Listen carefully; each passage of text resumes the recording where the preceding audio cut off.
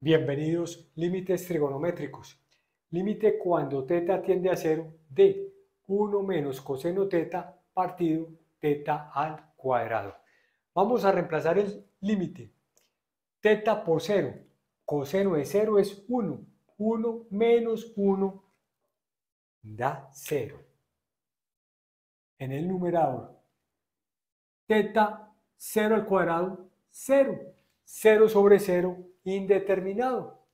Entonces vamos a decir lo siguiente, límite cuando teta tiende a cero, ¿qué vamos a aplicar en el numerador? La conjugada del numerador.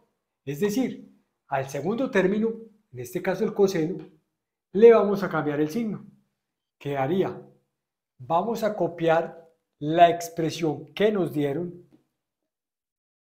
1 menos coseno de teta partido teta cuadrado. Al aplicar la conjugada, decimos lo siguiente. Al segundo término le cambiamos el signo.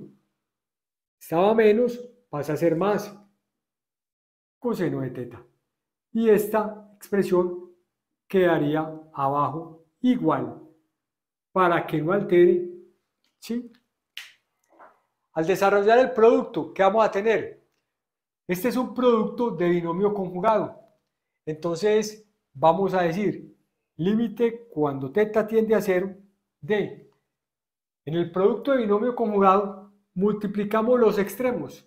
1 por 1, 1, más por menos, menos.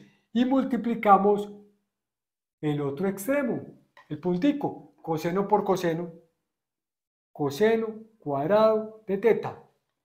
¿Sí?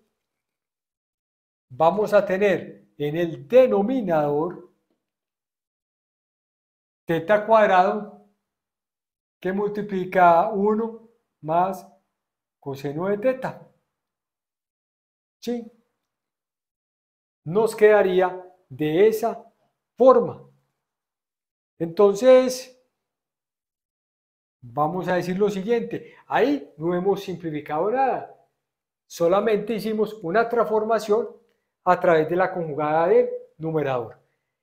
Pero ¿quién es esta expresión? Les decimos, límite cuando teta tiende a cero de 1 menos coseno cuadrado. Lupa en 8, identidad, seno cuadrado del mismo ángulo. Partido teta cuadrado 1 más coseno de teta. ¿Sí? Muy bien.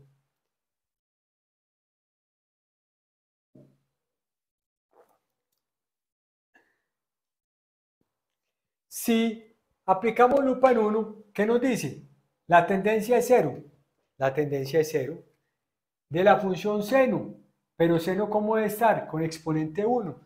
Entonces, digámoslo así, límite cuando teta tiende a cero. Vamos a separarlo para visualizarlo más fácil. Teta y este decimos teta.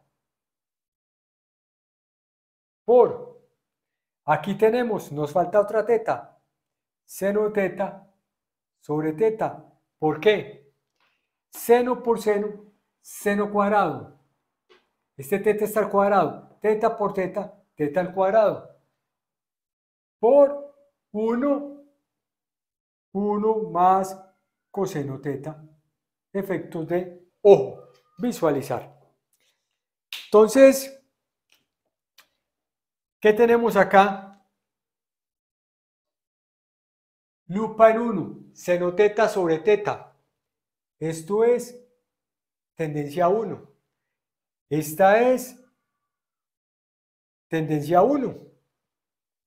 1 por 1 es 1. 1 por esta expresión da esa expresión. Entonces vamos a decir lo siguiente.